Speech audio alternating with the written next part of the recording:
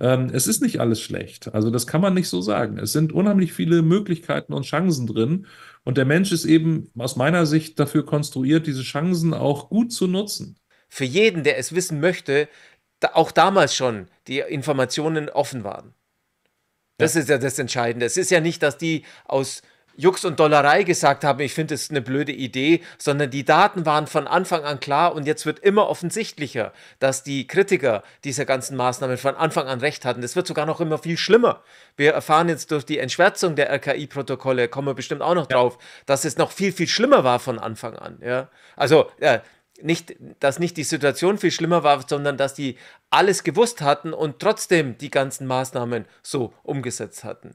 Ich empfinde genau. das als eine eine so unglaubliche Zäsur in meiner eigenen Lebenszeit, so etwas mitzukriegen, dass der Staat, den man eigentlich immer so als demokratischen Staat so vor sich hergetragen hat, dass die größten Organe dieses Staates beteiligt waren an einem der größten Verbrechen, die es überhaupt gab. Größten Organe dieses Staates beteiligt waren an einem der größten Verbrechen, die es überhaupt gab. Also wir haben massive Gräben zwischen den Menschen in verschiedenen Themenbereichen. Und wir brauchen ja nur zu gucken, das gibt äh, alle Themenbereiche, können wir ja mal kurz ansprechen. Das Thema der Klimawandel, äh, Chemtrails am Himmel, äh, Gendern, Ukraine-Krieg, Gaza-Krieg. Äh, wir können das alles ansprechen und es gibt Gräben. Egal wo du hinguckst, es gibt Gräben ohne Ende. Und äh, es ist nicht mehr möglich, untereinander, miteinander zu sprechen. Das geht einfach nicht mehr vernünftig, weil die Gräben auch weiter befeuert werden von beispielsweise den Medien und der Politik. Wenn es auf diese Weise weitergeht, haben wir eigentlich ein viel größeres Problem mit der analogen Welt. Und die digitale Welt könnte uns helfen, diese Gräben abzubauen. Das haben wir in der Untersuchung auch ganz massiv versucht. Und dieser Abbau der Gräben geht nur darüber, dass Wissen vorhanden ist oder Bewusstsein.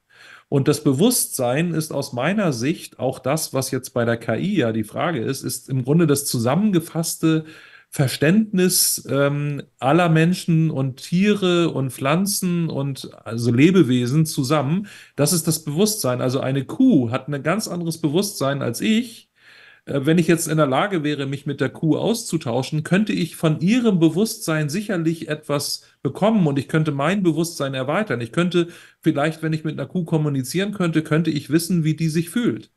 Und so kann ich es auch mit allen Menschen. Allerdings, wenn uns die Möglichkeit der Kommunikation untereinander genommen wird, weil wir gar nicht mehr miteinander kommunizieren können, denn alles, was wir sagen, ist in Sperrzonen aufgeteilt, wie äh, Professor Mausfeld immer gesagt hat. Er sagt, man hat ja immer kommunikative Sperrzonen. Wenn man äh, irgendwas sagt, äh, dass man vielleicht äh, konservativ äh, dasteht, dann wissen die anderen sofort mit einer roten Lampe, du bist jetzt in der Sperrzone, du gehörst nicht zu ihnen und sie sprechen mhm. nicht mehr mit dir. Mhm. Und das kannst du mit der KI überbrücken. Du kannst halt diese Gespräche mit der KI führen und kannst trainieren, wie du mit diesen Leuten sprechen kannst. Und dann haben wir eigentlich etwas geschaffen, wo ich sage, da können wir auch im richtigen Leben miteinander wieder umgehen. Dummerweise ist es so, dass diese ganzen Hilfsmittel, die wir haben, auch die Menschen von sich selbst wegführen. Das heißt, die merken gar nicht mehr, ob jemand Freund oder Feind ist. Ähm, da fragen sie lieber ihr Handy oder kümmern sich gar nicht drum. Das ist natürlich ein großes Problem. Ähm, aber wir haben ja auch in der Corona-Zeit gesehen, auf einmal spricht man drei Sätze und man ist äh, befreundet miteinander. Also zumindest erstmal anfänglich befreundet und das habe ich noch nie erlebt in meinem ganzen Leben, dass diese Art von ähm, ähm, Offenbarung äh, dieses Tricks mit Corona, dass diese Offenbarung dazu führt, dass Menschen jetzt auf einmal zusammenstehen, ohne dass sie sich kennen. Das ist ganz irre. Also das sind, also ich finde jetzt nicht, dass alles, ne, es war nicht immer alles schlecht. wie man das so in manchen Kontexten sagt. Ähm, es ist nicht alles schlecht. Also das kann man nicht so sagen. Es sind unheimlich viele Möglichkeiten und Chancen drin.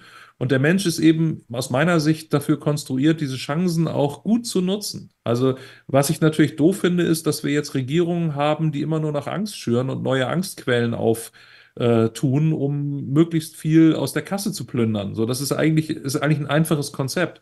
Und unsere Aufgabe kann eigentlich nur sein, und das auch gerne mit Hilfe der KI oder künstlichen Intelligenz sozusagen, durchschauen.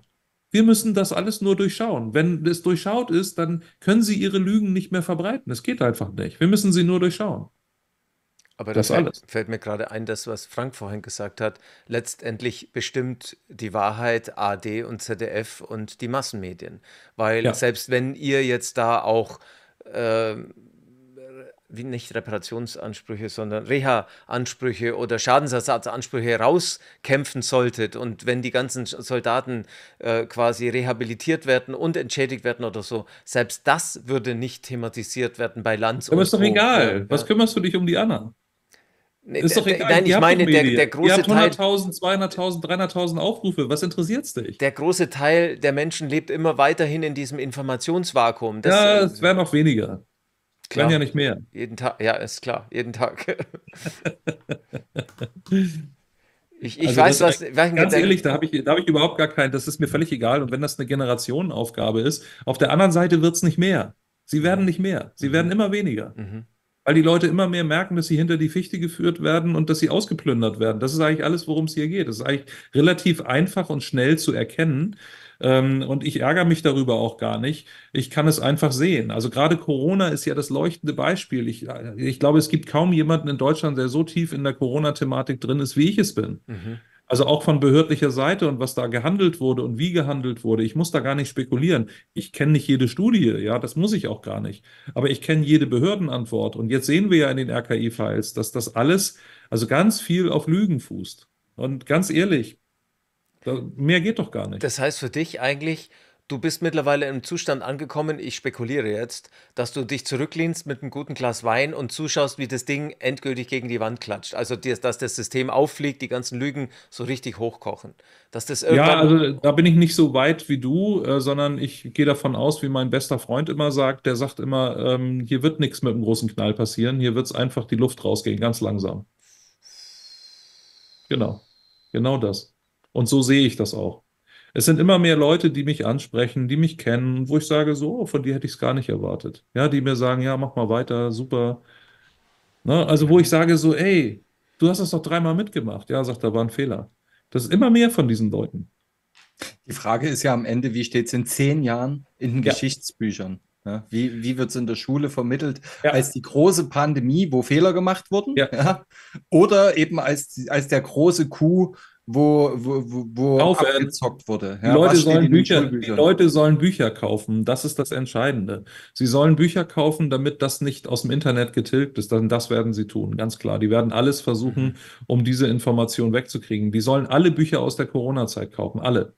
Ich habe das auch schon auf dem Vortrag in Braunspetra das Ja, erste ja. Mal gesagt. Sie sollen jedes Buch kaufen, das sie jetzt kriegen können. Wenn sie die Mittel haben, sollen sie es kaufen. Bitte kaufen.